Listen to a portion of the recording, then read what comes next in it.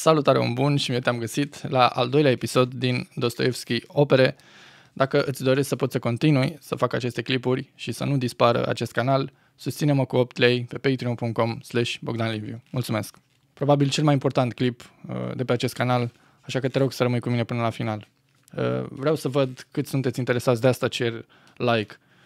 Uh, e o bună busolă să văd câți oameni vor cu adevărat să continuăm călătoria Dostoevski pentru prima dată în România, practic. Ivan Karamazov, scepticul însetat de certitudini, povestește odată o scenă de bestialitate săvârșită de un aristocrat în epoca cea mai neagră a iobăgiei. Un copil, fiul unui iobag, a zvârlise cu piatra și rănise piciorul unui ogar. Nobilul, un general care se pregătea să plece la vânătoare, află pricina pentru care ogarul lui își căpătează. Poruncește ca băiatul să fie dezbrăcat și a smute împotriva copilului haita câinilor de vânătoare, care îl sfâșie imediat. Ivan mărturisește perplexitatea lui. Cum a putut deveni posibilă o astfel de întâmplare? Mărturisesc cu umilință că nu pot înțelege rațiunea unei astfel de stări de lucruri, spune Ivan. În zadar credincioșii ar veni să-i spună că, în organizarea morală a lumii, fapta aceasta își va găsi sancțiunea.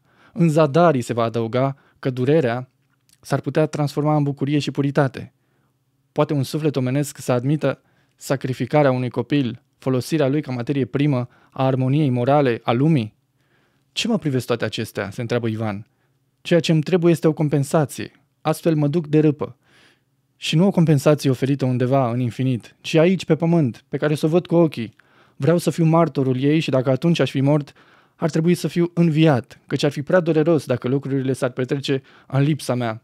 Nu pot accepta ca trupul meu, cu suferințele și păcatele lui, să nu slujească decât pentru a forma armonia universală.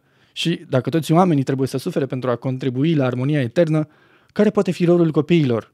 De ce să slujească ei ca materiale menite să pregătească armonia? Refuz să accept această armonie. Îmi vei spune că toți călăi vor ajunge în iad. Dar la ce slujește pedepsa dacă copiii au fost și ei în infern încă de pe lumea aceasta? Asta e probabil una dintre cele mai grele întrebări pe care ți le poți spune într-o viață. La ce slujește pedepsa dacă copiii au fost și ei în infern încă de pe lumea aceasta? Îți vine să plângi sau să te sinucizi sau să continui să cauți un răspuns aproape conștient că nu-l vei găsi. E, e copleșitor de, de dureroasă întrebarea. Eu vreau îmbrățișarea universală, suprimarea suferinței. De altfel, ce valoare are armonia universală dacă ea presupune un infern? Din iubire pentru omenire, nu vreau acea armonie și n-am ce face cu ea. S-a povestit de multe ori viața scriitorului, născut în 1821, ca fiul unui medic militar. Un frate mai mare, Mihail, se va consacra și el carierei literare, ca traducător al lui Schiller și al lui Goethe, pe care uh, Dostoevski îi va idolatriza, uh, o să vedeți mai târziu, și ca redactor al revistelor Timpul și Epoca, Feodor Mihailovici Dostoevski, urmează o școală de geniu pe care o termină cu titlul de inginer. Vocația literară se precizează însă curând și, într-o zi, tânărul inginer se hotărăște să-i comunice lui Necrasov manuscrisul unei opere narrative. Era micul roman în scrisori Oameni sărmani. Necrasov are o impresie dintre cele mai puternice și simte nevoia să se consulte cu Bielinski. Criticul confirmă impresia lui Necrasov. Apăruse un talent asemănător cu al lui Gogol – Macar de Vușkin este ruda bună a lui Akaki Akakievici din mantaua lui Gogol. Am ieșit cu toții din mantaua lui Gogol. Va spune Dostoevski mai târziu. Eroul tânărului scriitor era și el un personaj sensibil și stângaci, față de care autorul simte ironie și tandrețe. Este un om mărunt, ca și Akaki, în care se luminează chipul curat al umanității eterne. Spre deosebire de personajul lui Gogol, Macar de Vușkin simte o nevoie de sacrificiu, un elan al dăruirii de sine pe care o vor păstra multe alte creații de mai târziu ale scriitorului. Oamenii sărmani apar în revista lui Necrasov și numele lui Dostoevski devine îndată cunoscut. Tânărul scriitor e parte la viața literară a capitalei, a Petersburgului.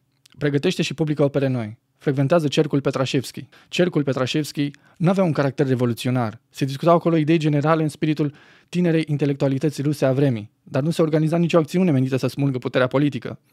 Într-o seară, Dostoevski recită Oda lui Pushkin despre desfințarea iobogiei și cum cineva din asistență face observația că aceasta n-ar putea fi obținută decât pe calea unei revoluții, Dostoevski replică Ei bine, fie și prin Revoluție. Desfințarea iubăgiei va fi legiferată în 1861, dar deocamdată proiectarea unei astfel de reforme și mai cu seamă atmosfera de libere discuții din cercul lui Petrașevski par atât de subversive încât conducătorul cercului și 34 dintre aderenții lui sunt arestați și judecați de către regimul lui Nicolae I.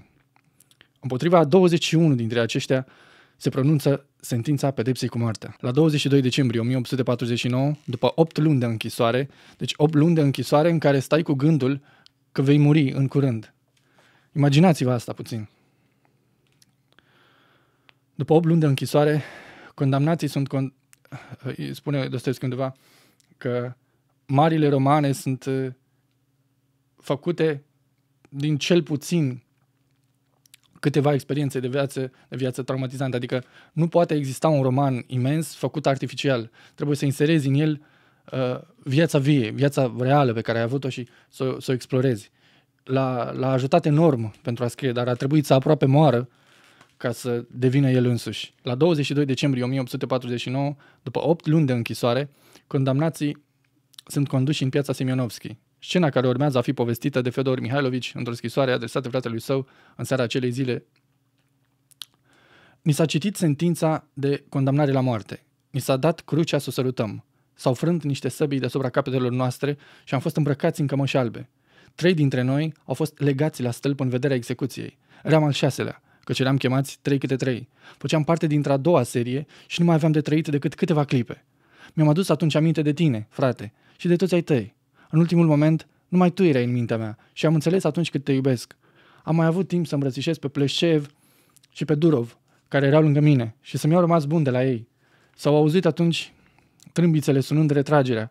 Cei legați la stâlp au fost dezlegați și ni s-a citit că maestatea sa imperială ne dăruise viața. Această scenă de sadism bestial, una din cele mai rușinoase din regimul țarist, a avut o mare înrăurire asupra lui Dostoevski. Amintirea ei revine în mai multe opere ale scriitorului, împreună cu reflexia cu privire la perspectivele deschise asupra vieții în sufletul cuiva, în sufletul cuiva care a stat într-o apropiere atât de mare de moarte.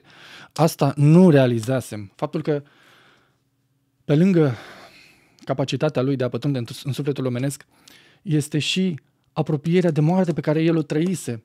Eu aveam obsesia morții și Cioran probabil că de asta îl idolatrizează pe Dostoevski. Pentru că e un om care înțeles, care și-a dat seama, uh, fără nicio glumă acum, într-adevăr și-a dat seama, a trecut prin asta. Ceea ce mulți dintre noi simțim uh, într-o cameră, acest om a simțit pe bune, adică trăia faptic ceea ce simțeam noi în nopțile în care nu puteam dormi. E și acesta un motiv pentru care îl iubesc. Nu, nu realizasem chestia asta. El știe atât de bine. A stat într-o apropiere atât de mare de moarte. Apropierea aceasta atât de mare față de, uh, de moarte mă apropie extraordinar de mult față de Dostoevski.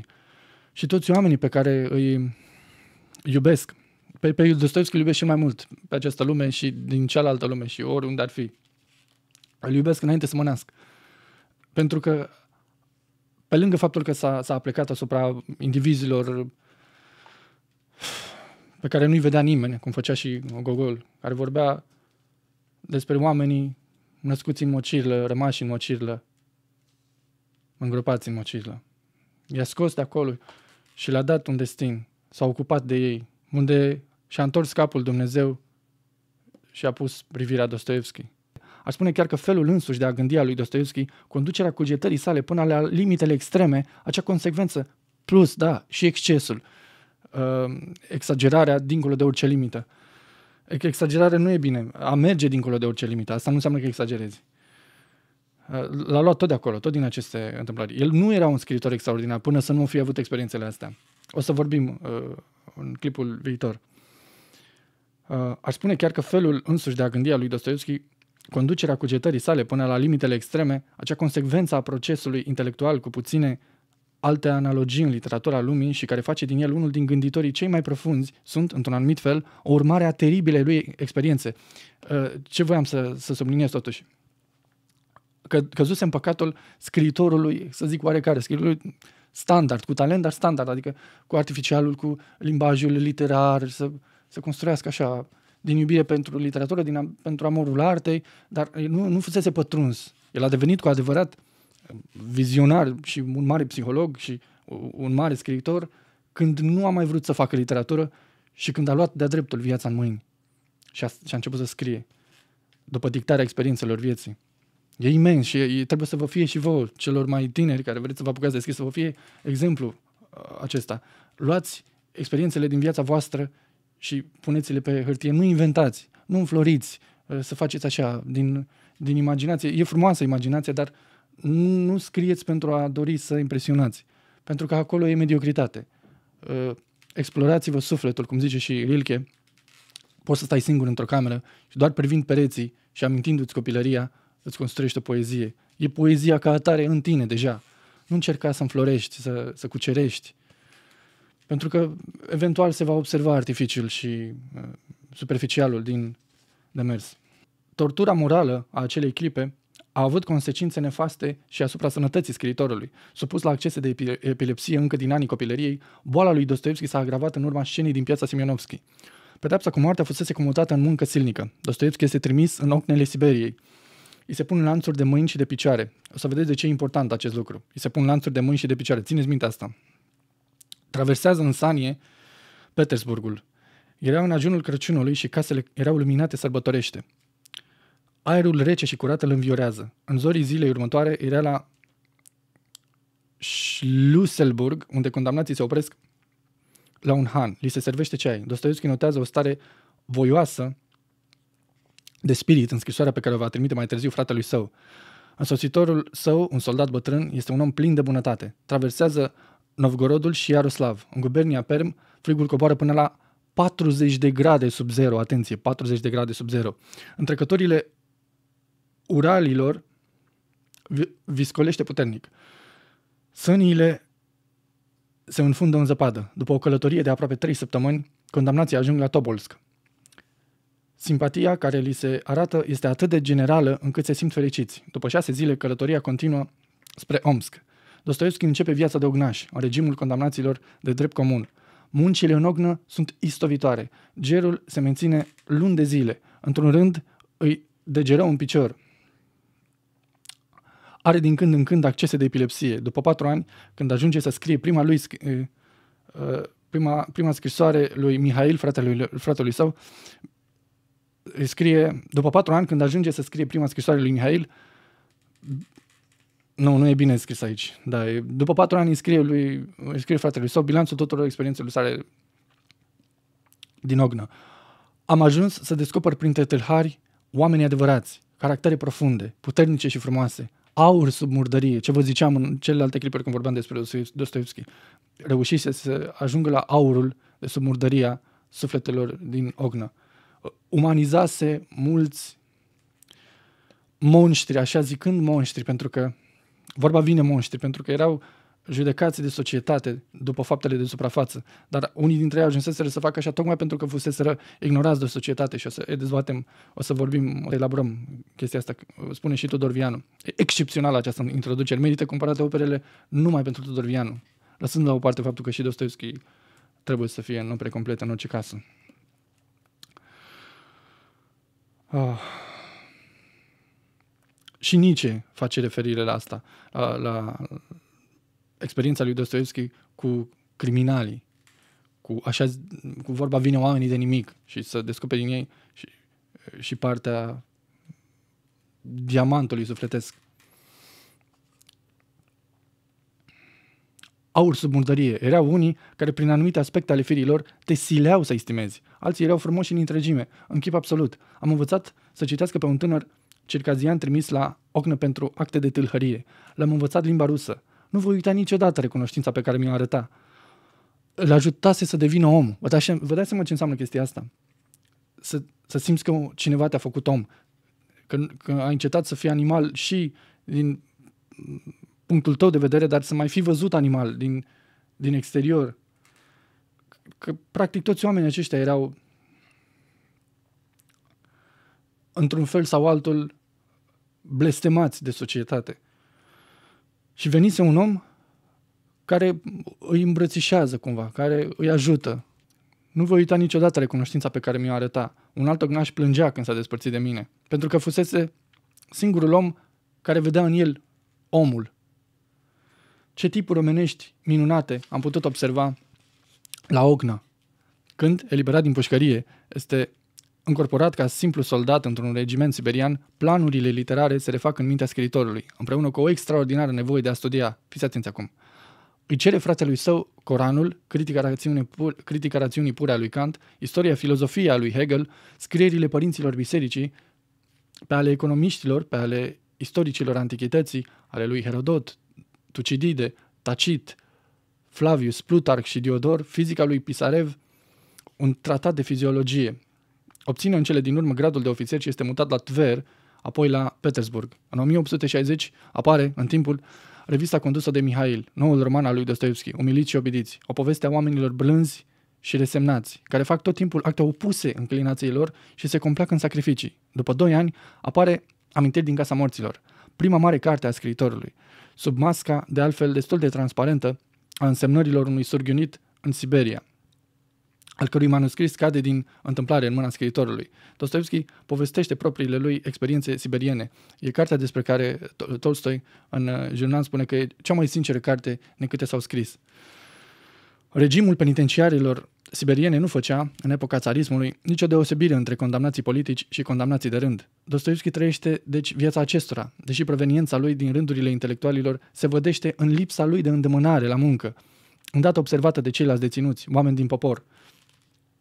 O să elaboreze asta în amintiri din casa, mor- din casa morților, în cât era de împotmolit, cum a, era privit de oamenii din popor ca, ca pe un sclifosit, ca pe un om, om, cum ne-am uitat noi la un politician, să zicem, un aristocrat. Ce mă nu pot să faci, nu știu ce, adică îl priva așa de sus. Și uh, ușor, ușor, cunoscându-l mai bine, ajung să-l acopere, să facă, să-i dea munci mai ușoare, nu știu, să-l ajute pe acolo, să, să păcălească sistemul. Atât de mult încep să-l îndrăgească. Este și o un, cum ar zice Volter, un tratat despre toleranță. E și o lecție de viață de cum să, să nu mai ai prejudecăți. Și cu privire, cum ce vă ziceam, de cum s-a raportat el la pușcăriaș, dar și oamenii din popor, cum te văd atâta timp cât uh, îți deschizi sufletul în, în fața lor și înveți și pe ei să fie mai îngăduitori și devii și tu însuți mai îngăduitor cu ceilalți. Creșteți împreună, într-o dinamică a iubirii. O să vorbească despre iubire mai târziu, o să vedeți, e foarte important.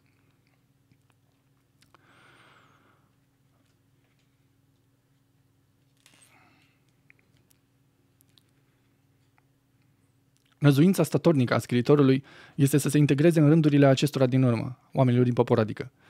Viața se reface în închisorile siberiene, reproducând raporturile sociale, tipurile omului din viața liberă, alături de caracterele bestiale, oamenii ai mâniei și ai violenței, pentru care crima este o vocație, apar naturile cele mai umane. Uneori, astfel de însușiri se întâlnesc în același, același exemplar omenesc, astfel încât sub înfățișarea aspră a silniciei îi rupe deodată firea cea mai generoasă. Dostoevski nu se comportă niciodată ca un martir. Primește pedepsa ce i-a fost impusă și pare a recunoaște legitimitatea ei, exact cum face Dimitri Karamazov, supus uh, acelei pedepse conștient de nedreptate respectivă, e uh, împăcat cu sine într-o soartă nedreaptă și a zice doar pentru că avusese acel vis. O să vorbim mai târziu. Uh, avusese acel vis în care își dăduse seama că toți suntem vinovați și purta cu sine, așa cum purta și Raskolnikov privind-o pe Sonia, suferința întregii omeniri. Chiar dacă ești băgat la închisoare pentru un motiv greșit, știi că ești vinovat, purți cu tine acea vinovăție. Și cum spune Tolstoi, foarte bine se asortează și cu Dostoevski, cel care înțelege totul, iartă totul. Chiar și nedreptățile care îi se fac. O să vedeți și legat de asta. Avem mai târziu ceva extraordinar.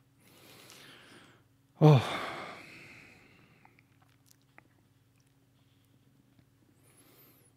Uneori, astfel de însușiri se întâlnesc în același exemplar omenesc, astfel încât, sub înfățișarea aspra silniciei, îi rupe deodată firea cea mai generoasă. Dostoevski nu se comportă niciodată ca un martir, primește pedepsa ce a fost impusă și pare a recunoaște legitimitatea ei. Ne găsim în al șaptelea deceniu al secolului, când avântul revoluționar al cercurilor intelectuale ruse se prăbușise aproape cu totul.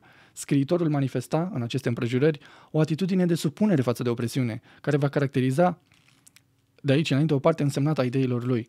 Dar în închisorile Siberiei, Dostoevski descoperise încă puterea de înjosire legată de exercițiul abuziv și bestial al puterii, descriind o scenă de tortură, faimoasa Cale Verde, fiți atenți, în care nenorociții prizonieri cădeau sub loviturile de verge ale torționarilor așezați pe două rânduri, scriitorul reflectează.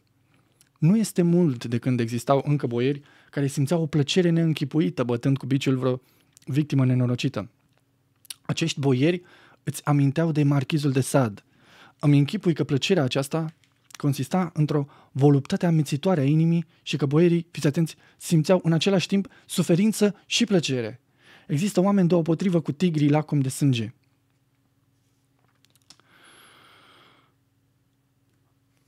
Aceia care au posedat odată această putere nelimitată asupra cărnii, sângelui și sufletului semenilor, a fraților lor, după legea lui Hristos, aceia care au simțit această putere și au avut facultatea de a zdrobi o altă ființă făcută după chipul Domnului, prin suprema ei umilire, aceia devin incapabili de a rezista dorinței lor, setei lor de senzație.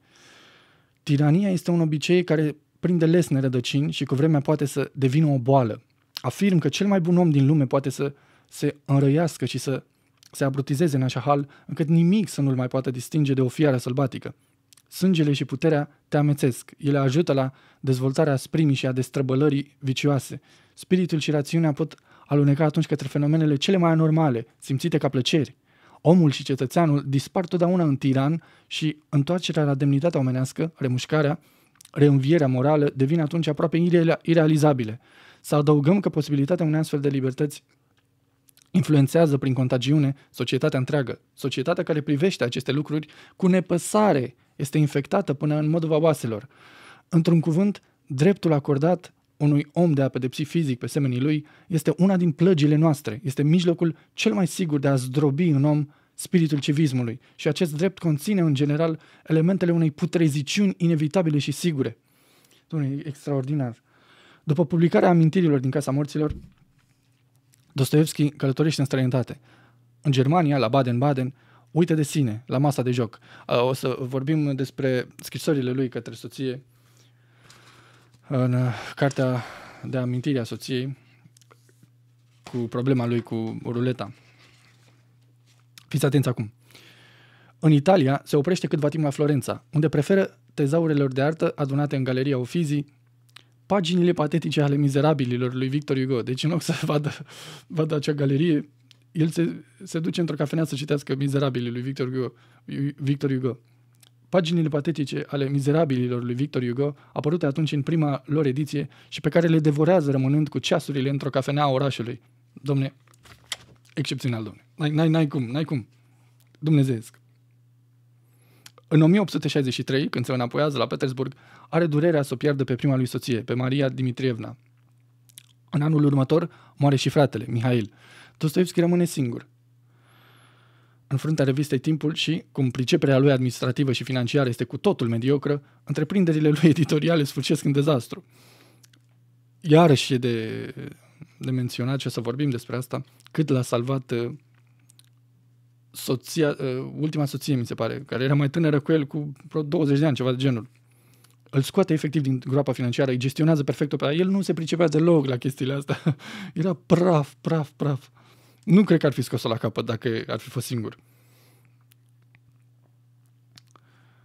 Um, Întreprinderile lui editoriale sfârșesc în dezastru. Situația ei se ameliorează abia în 1866, când apare Crimă și Pedepsă. Romanul este curând tradus în mai multe limbi străine și creează o reputație mondială a autorului. A fost ca o revelație generală citirea acestei compuneri unice, care pătrunderea în cutele cele mai ascunse ale sufletului, arătarea felului în care ideile și sentimentele se înlănțuiesc, vădesc rigoarea și claritatea marilor cărți de analiză morală a omului, a eticii lui Aristotel sau a lui Spinoza. Studentul sărac, Raskolnikov, eroul romanului, este un napoleonoid, unul din tipurile care cred că exemplul îndrăznelii și al succesului lui Napoleon îi poate autoriza, îl poate, îi poate autoriza să săvârșească fapte mai presus de legea morală. Raskolnikov este fratele bun al lui Julien Sorel, eroul lui Stendhal, el anunță supraomul lui Nietzsche.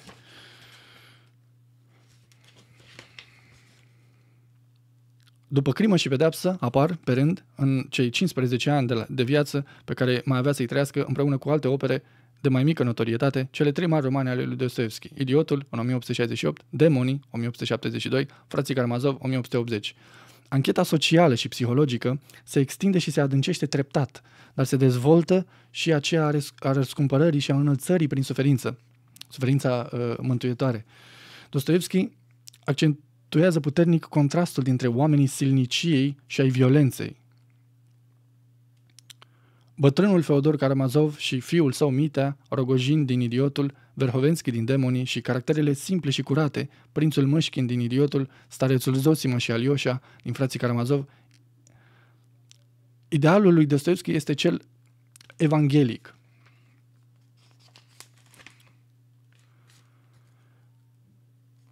Când se întâmplă o crimă, judecătorii caută pe ucigaș și, după ce îl descoperă, îl izolează de restul societății pentru ca fapta lui să nu se mai repete.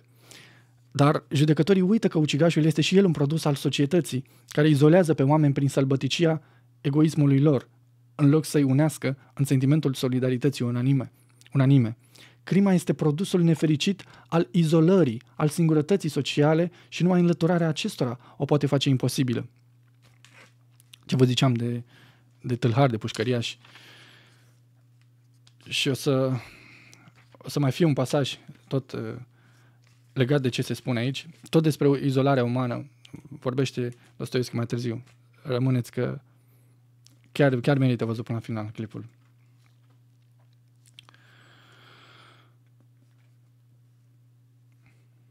Gândul acesta devine necontenit în frații Karamazov. Îl exprimă Markel, fratele mort în vârstă tânără al viitorului stareț Zosima. Fiecare este vinovat în fața tuturor și eu mai mult decât toți ceilalți. Mama tânărului răspunde, cum poți fi tu vinovat mai mult decât toți ceilalți oameni? Există în lume ucigași și tâlhari. Ce crime ai comis tu pentru a te învinovăți mai mult decât pe alții? Află, îi răspunde Markel, că în adevăr fiecare este vinovat față de toți oamenii și pentru tot ce se întâmplă. În anii hotărători ai formației sale, Zosima primea din când în când vizita unui om enigmatic. Era cineva care comisese o crimă, dar reușise să o țină ascunsă și trăia în micul lui oraș de provincie, ca un om de onoare, înconjurat de respectul general.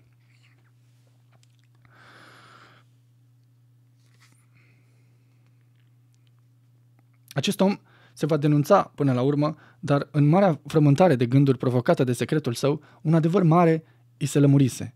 Vinovăția tuturor față de toți și pentru totul. Atât timp, spune vizitatorul enigmatic, enigmatic al lui Zosima, atât timp cât fiecare nu va fi cu adevărat fratele semenului său, nu va exista fraternitate. În numele științei și al interesului, oamenii nu vor ști niciodată să împartă în pace proprietatea și drepturile lor. Fiți atenți, nimeni nu va considera că posedă un îndeajuns și oamenii vor murmura, se vor pismui și se vor extermina unii pe alții. Mă întrebi când se vor sfârși toate acestea? Se vor sfârși atunci când se va termina perioada izolării umane. Absolut excepțional.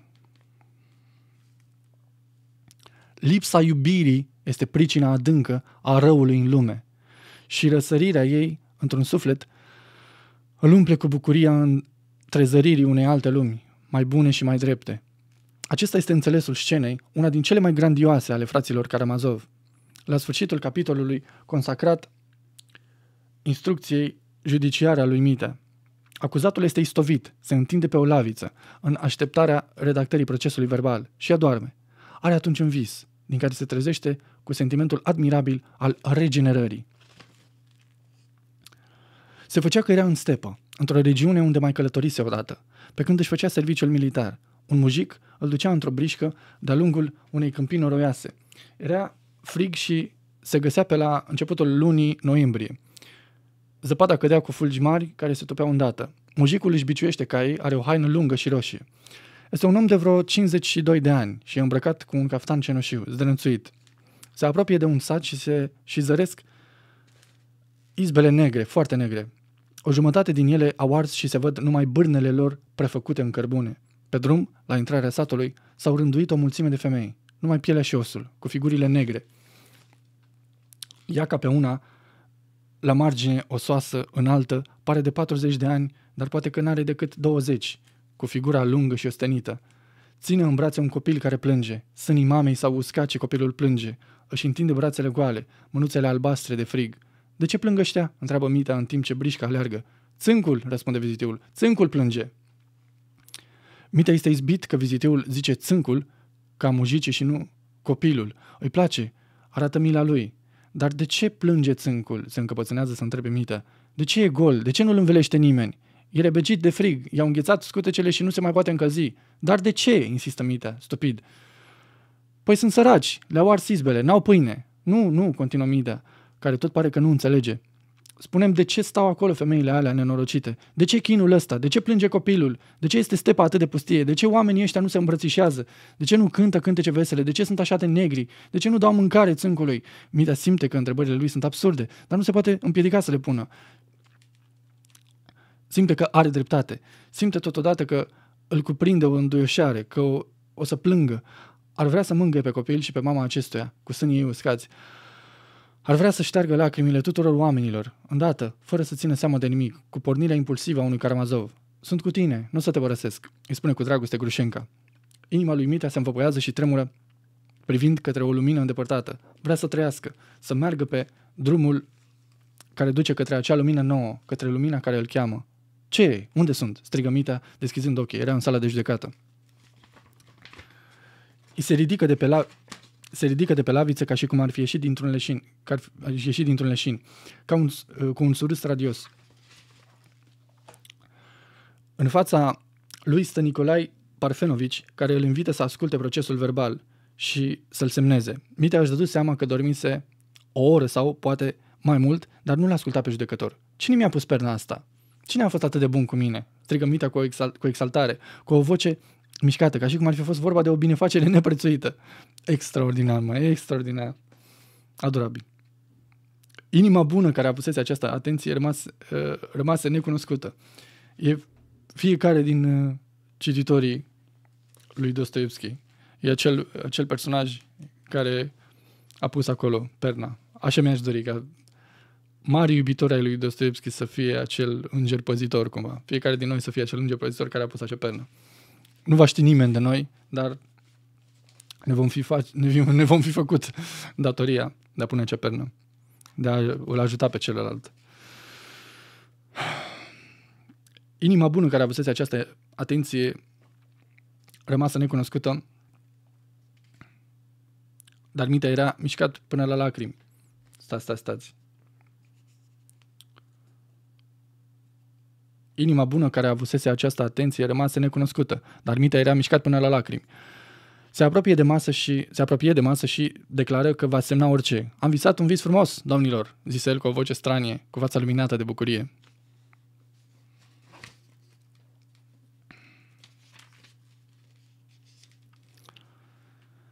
Această mobilitate a sentimentelor, această luptă continuă a motivelor în sufletul eroilor dostoevskieni, le acordă acestora contururi greu de definit.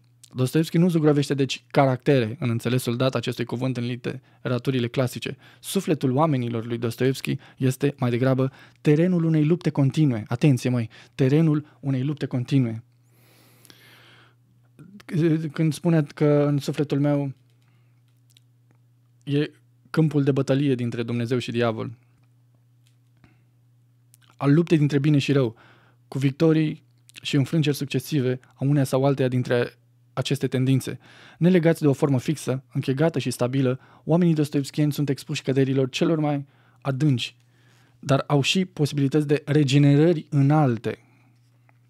Eliberarea omului în sentimentul fericit al valorii lui morale, recâștigate, aduce pentru eroii dostoevskieni înțelegerea cea mai delicată pentru tot ce este pur, grațios și tineresc. Puțini sunt scriitorii care au zugrăvit cu trăsături mai delicate portretul omului tânăr, al adolescentului și al copilului. Sentimentul juvenilului era unul din cele mai puternice în sufletul lui Dostoevski. În această privință, nu putem lăsa neamintit episodul final al fraților Karamazov, publicat uneori separat sub titlul Precocii și care, astfel de prins desprins din întregul lui, a fost citit și de publicul nostru, într-o traducere făcută acum câteva decenii. Fiți atenți. Alioșa a strâns în jurul său o ceată de băieți de școală. Îngrijesc cu toții pe unul din camarazilor, pe Iliușa, fiul unui tată de căzut și al unei mame nebune. Deja ți se rupe sufletul când îți spui asta. Ți-l imaginezi pe bietul copil. Orgoliul ofensat al lui Iliușa îl dusese altădată la acte copilărești de violență și răutate. Și apoi, fiți atenți, remușcarea îl chinuie acum pe Iliușa, căzut bolnav, fără scăpare. Ceata lui Alioșa aduce consolare micului bolnav și familiei lui nenorocite. Observația societății de copii din jurul patului lui Iliușa este una din marile realizări ale realismului psihologic. Este o galerie de portrete zugrăvite cu o mare artă a diferenței individualităților și cu cea mai adâncă știință a motivelor care lucrează în sufletele tinere, a timidității mândre. Mai cât de frumos, timiditate mândră. Există ceva mai drăguț decât timiditate mândră. A timidității mândre, a bunătății neștiutoare de sine. Da, există, bunătate neștiutoare de sine. A emulației morale, a dorinței de a plăcea aceluia pe care îl stimez mai mult, o dorință din care se dezvoltă între Colea, Krasotkin și Alioșa o prietenie cum nu se poate ivi decât în sufletele cele mai înalte. Iliușa Mare. Ceata băieților îl duce la locul odihnei lui și în jurul pietrei sub care Iliușa dorise să fie așezat, Alioșa rostește copiilor o cuvântare. Nu sunt cuvinte de jale, ci cuvinte senine ale prieteniei și speranței. Amintirea durerii, care a fost amintirea durerii care îi fusese martori, va deveni pentru toți prietenii lui Iliușa o forță a binelui. Copii, rostește Aliușa, nu vă temeți de viață. Copii, rostește Aliușa, nu vă temeți de viață. E frumoasă atunci când săvârșești binele și cunoști adevărul. Copiii aclamă pe Alioșa. Te iubim, te iubim cu toții. Ura, trăiască Alioșa! Sumbra dramă a Karamazovilor sfârșește astfel într-o mare revărsare de nădejde și claritate. Nu vă temeți de viață. E probabil tot ce s-a scris mai frumos. Copiii, nu vă temeți de viață. În 1880, Dostoevski era unul din scriitorii cei mai citiți și mai admirați ai Rusiei.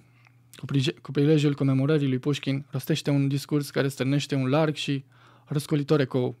Dostoevski recunoaște marea însemnătate națională a poetului și, comentând opera și personalitatea lui literară, degajează îndemnuri pentru întreaga dezvoltare a țării sale.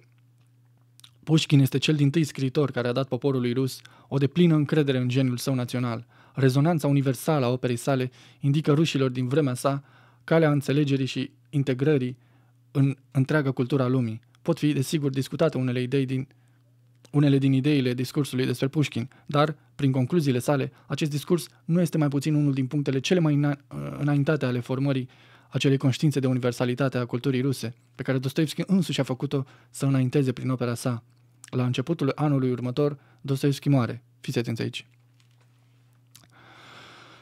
Consternarea este mare în întreaga țară. Deci, Dostoevski moare. Consternarea este mare în întreaga țară. În ziua înmormântării, Studenții universitari doresc să însoțească convoiul funerar, ducând lanțurile pe care scriitorul le purta în Siberia. De asta v-am spus la început să fiți atenți la acele lanțuri.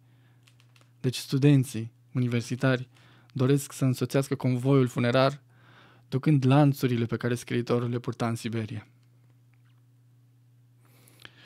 Guvernul interzice manifestația, dar o mulțime imensă, cum nu se adunase de mult pe străzile Petersburgului, conduce trupul lui Dostoevski la locul odihnei lui de veci. A fost unul din cei mai mari scritori ruși, unul din strălucita serie a realismului critic, aceea care a stabilit faima și influența mondială a literaturii ruse după Pushkin, Lermontov și Gogol, împreună cu Tolstoi, Turgeniev, Shaltykov, Shchedrin, Goncharov, Ostrovski, Chehov și Gorky. Particularitatea lui în această serie a fost că, spre deosebire de Tolstoi și Turgeniev, care au dat un mare loc în opera lor descrierii claselor nobiliare, marilor proprietari de pământ și a țărănimii, Spre deosebire de Ostrovski și Gonciarov, care au zugrăvit mai cu seamă burghezia negustorească și clasele avute, Dostoevski a înfățișat sărăcimea marilor orașe, dar mai cu seamă pe intelectualul care trăiește cu nervii zdruncinați, contradicțiile societății sale, căutând drumul către armonie și lumină. Din acest punct de vedere, Dostoevski stă mai aproape de Gogol din povestirile din Petersburg și de Cehov.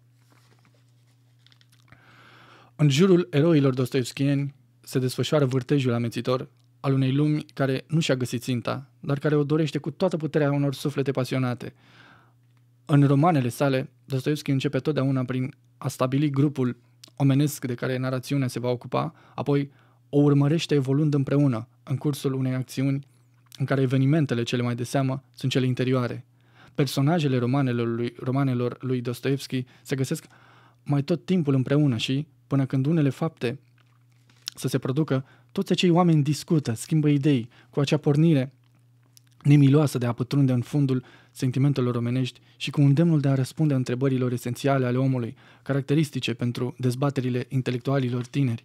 Oamenii care dis- discută astfel fac din când în când observații revelatoare, citesc cu teribilă luciditate în ei înșiși și în alții și cuvintele lor sunt urmate îndată de hotărârile cele mai radicale. Aici voiam să ajung – Cuvintele lor sunt urmate îndată de hotărârile cele mai radicale. Gândirea este pentru eroii dostoevskieni o formă a existenței, cea mai însemnată și mai hotărătoare. Cuvintele lor sunt urmate îndată de hotărârile cele mai radicale. Gândirea este pentru eroii dostoevskieni o formă a existenței, cea mai însemnată și mai hotărătoare. Obsesiile, generarea obsesiile degenerarea intelectuală și morală prin intoxicația alcoolică, procesele descompunerii fizice prin boală dețin un loc vast în romanele lui Dostoevski. Cunoștințele și observațiile sociale și medicale ale romancierului sunt atât de intense încât, la apariția amintirilor din Casa Morților, penaliștii ruși au recunoscut în el un confrate de geniu, iar filozofii și psihiatrii au folosit adeseori operele lui ca pe acelea ale lui Shakespeare, drept izvor de atestări pentru propriile lor observații și explicări. În tinerețe se entuziasmase de Schiller, de idealurile umanitare ale acestuia. Referințe atât de dese la Shakespeare și Goethe vădesc lunga frecventare a acestor poeți. Se știe că a fost cititorul pasionat al lui Victor Hugo, George Sand, George Sand, Eugene Sue și Dickens. În formația lui literară s-au încrucișat, deci, în afară de influențele interne, cele mai puternice provenind de la Pushkin, Lermontov și Gogol, acelea provenite de la scriitorii apuseni, care s-au plecat cu înțelegere și iubire către straturile populare, umile și suferitoare. O afinitate remarcabilă l-a făcut pe Dostoevski să se oprească cu interes în fața operei romanticului german E. A. Hoffmann, a cărui inspirație fantastică, uneori plină de teroare, alteori imperechind straniul cu umoristicul, se învecinează adeseori cu inspirația lui Dostoevski în marile lui romane, dar și în operele lui mai puțin cunoscute, nu însă mai puțin semnificative, ca dublul, însemnări din subterană și eternul soț. Ca în povestirile scriitorului german, apar și la Dostoevski oameni demonici și viziunile lor. Dar pe când fantasticul are de obicei la Hoffman rolul pe care îl deține în basmul popular, el devine la Dostoevski un mijloc al analizei morale, al investigației cele mai profunde a conștiinței. Așa se întâmplă de pildă în paginile în care Ivan Karamazov are halucinații și stă de vorbă cu diavolul, care este un gentleman elegant, poartă ochelari și recurge adeseori la locuțiuni franceze, ca oamenii din lumea bună. Ascultă, îi spune Ivan Feodorovici diavolului, mi se pare că aiurez. Spune ce vrei, mie tot una. Din când în când, nici nu te văd, nici nu te mai văd, nici nu te mai aud. Dar ghicesc ce vrei să spui, fiindcă eu vorbesc și nu tu.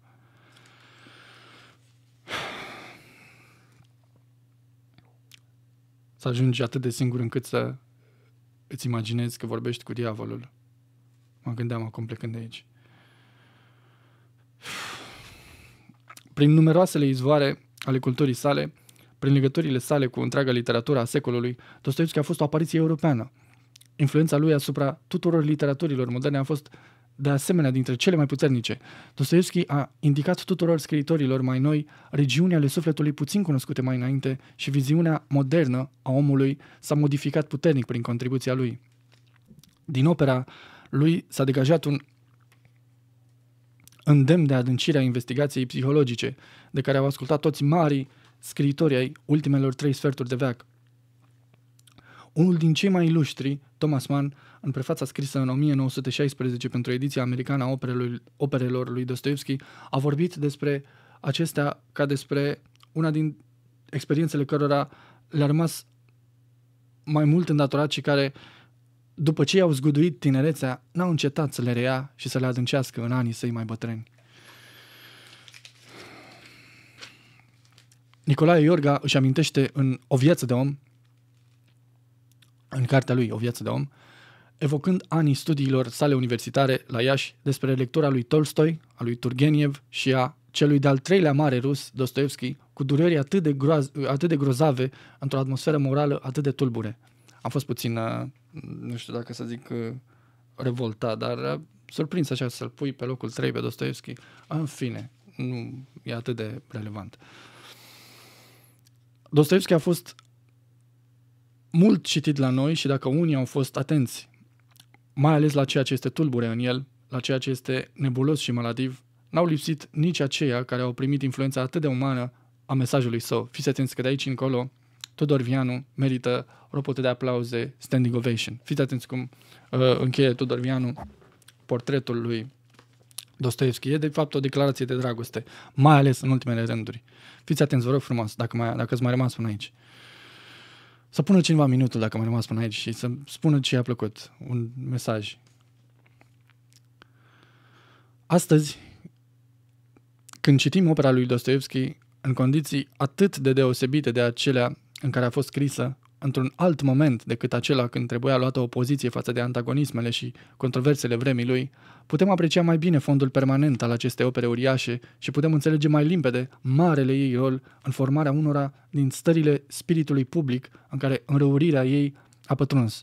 Deși limitele acestei opere ne apar destul de limpede și astăzi. Marele rol al lui Dostoevski ni se pare a fi fost faptul că a sporit enorm în lumea modernă imaginația durerii, puterea de a-ți reprezenta suferința omului împilat și înjosit. Umiliții și obidiții lumii au găsit în acest scriitor vocea lor cea mai elocventă. Umiliții și obidiții lumii au găsit în acest scriitor vocea lor cea mai elocventă. Să vă faceți o idee. Uh, în clipele când un om recurge la băutură, că nu vrea să-și mai aparțină și ai senzația de a cădea la picioarele cuiva, să ieși din tine cu orice, să te droghezi, să sar pe geam, numai să nu mai existi, să nu mai fii tu, așa veneam eu la Dostoevski. În momentele alea când nu, nu mai suportam să mai fiu în mine însumi și vedeam propriile mele gânduri în el, în uh, diverse personaje de ale lui și mă simțeam mai bine. Sau cum am pățit când îl citeam pe Cioran, că aveam aceleași obsesii și acea eliberare. Mă simțeam cum se simt poate credincioșii când uh, se spovedesc. Dar era, cred că, poate o experiență și mai intimă asta. Prin oameni care nu mai există, reușeam să rămân în viață, încă o zi. Marele rol al lui Dostoevski ni se pare fi fost faptul că a sporit enorm în lumea modernă imaginația durerii, puterea de a-ți reprezenta suferința omului împilat și înjosit. Umiliții și obidiții lumii au găsit în acest scriitor vocea lor cea mai elocventă. Dezvăluirea suferinței omenești în toate formele ei este însă prima treaptă a accepțiunii, prima treaptă a acțiunii de a o înlătura. Deci dezvăluirea suferinței omenești în toate formele ei este însă prima treaptă a acțiunii de a o înlătura. Pentru a obține acest rezultat, Dostoevski a arătat că societatea trebuie să-și recunoască o răspundere colectivă față de toate căderile omului în sânul ei. Imaginați-vă o clipă dacă am face cu toții această chestie. Să ne asumăm răspunderea colectivă față de tot ceea ce ne provoacă repulsie. E ceva... E paradisul aproape. A, și o să vedeți apropo de, apropo de rai, în curând o să vină o, o replică ce se asortează perfect cu ce am spus acum. Uh, Umiliții și obidiții lumii au găsit în acest scriitor vocea lor cea mai elocventă. Dezvoluirea suferinței omenești în toate formele ei este însă prima treaptă a acțiunii de a o înlătura. Pentru a obține acest rezultat, Dostoevski a arătat că societatea trebuie să-și recunoască o răspundere colectivă față de toate căderile omului în sânul ei. Pentru a combate egoismul în societate, starea de izolare a indivizilor, a celor bogați și puternici, închiși în sfera cupidităților, a celor umili și obidiți, abandonați durerii și singurătății, Dostoevski a crezut că este suficientă recomandarea iubirii și frăției între oameni. Căile propriu-zis sociale și, mai ales, cele revoluționare, menite să conducă spre acest rezultat, nu i-au apărut niciodată cu limpezime. A întrevăzut însă țintele, a recunoscut vocațiunea spre fericire a omului. Fratele bolnav al lui Zosima, în timp ce agonizează, îi spune mamei sale. Fiți atenți, vă rog. Nu plânge, mama. Voi trăi, voi fi vesel, voios.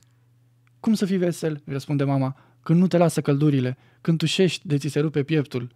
Nu plânge, mamă, nu plânge. Viața este un rai în care ne aflăm cu toții. Numai că noi nu vrem să știm lucrul ăsta. Altfel, până mâine, pământul ar deveni un rai. Nu plânge, mamă, nu plânge. Viața este un rai în care ne aflăm cu toții. Numai că noi nu vrem să știm lucrul ăsta. Altfel, până mâine, pământul ar deveni un rai. Năzuința și putința omului de a fi fericit a fost ilustrată de marele scriitor prin zugrăvirea eroilor lui, oameni înzestrați cu acea fecunditate morală care le dă puterea să se regenereze, ridicându-se din abisul căderii și al suferinței către inocență și bucurie. Cei vechi spuneau că esența poeziei tragice este prezentarea unor întâmplări care, stârnind în sufletele oamenilor groază și milă, conduc apoi către purificarea lor. În acest înțeles, se poate spune că Dostoevski a fost unul din cei mai mari poeți tragici, tragici ai omenirii, egalul lui Eschil și Sofocle, a lui Dante și Shakespeare, căci a zguduit sufletele omenești prin înfățișarea durerilor celor mai grozave, vrednice de compasiunea cea mai cutremurătoare, dar le-a înălțat și le-a curățat apoi prin evocarea zărilor celor mai senine ale, ale omenirii. Fiți atenți acum. Tudor Vian. Numai cine nu parcurge întregul ciclu al sentimentelor inspirate de operele lui Dostoevski se simte apăsat și copleșit la lectura scrierilor sale. Din adâncimea crizei morale provocate de aceste scrieri, cititorul lor găsește până la urmă un drum către lumină. A fost unul din spiritele cele mai pătrunzătoare ale vremii lui. A fost unul din spiritele cele mai pătrunzătoare ale vremii lui. Știința lui, cu privire la sufletul omenesc, în împrejurările sociale contemporane, a fost una din cele mai bogate și adânci. Și acum fiți atenți. Acea știință s-a însoțit cu o conștiință. Tudor A fost unul din spiritele cele mai pătrunzătoare ale vremii lui. Știința lui cu privire la sufletul omenesc, în împrejurările sociale contemporane, a fost una din cele mai bogate și adânci. Acea știință s-a însoțit cu o conștiință. V-am vorbit obsesiv despre intelectualul fără inimă și cât îl disprețuiesc. Și cu atât mai mult ador miracolele acestui pământ când vezi inteligența întâlnindu-se cu bunătatea, cu adevărata omenie. Acum o să intrăm propriu-zis în operele lui Dostoevski, dar am vrut să vă redau ce a spus minunatul Tudor Vianu, profesorul nostru. Nu îl mai citește nimeni azi. Se vedea că îl iubea foarte mult pe Dostoevski. Sper că ți-a plăcut acest clip. Dacă îți dorești să poți să continui, să fac aceste clipuri și să nu moară acest canal, mă poți susține cu oblei pe patreon.com slash